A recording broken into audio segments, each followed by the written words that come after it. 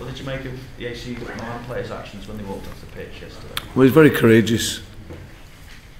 Prince Boateng, it was, um, you know, AC Milan have gone, I think, I believe it was a friendly, wasn't it, as well? It was a friendly that he went, so the club to go there and to play the game and obviously get treated like that wasn't probably what you would expect. And um, and obviously for the players and, and the club, they've obviously backed him. And, but there's nothing new to say on it really. It's something that you know the whole country and football and, and as a nation that we've worked tirelessly over many years to to do that.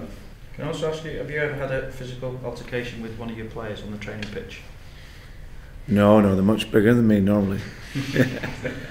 no, I never normally. As I said, it's. I try not to to get involved too much, to be honest. What do you think when it happens at a rival club? It sometimes can happen. You know, you get different types of of managers. I assume you're talking about the incident the other day.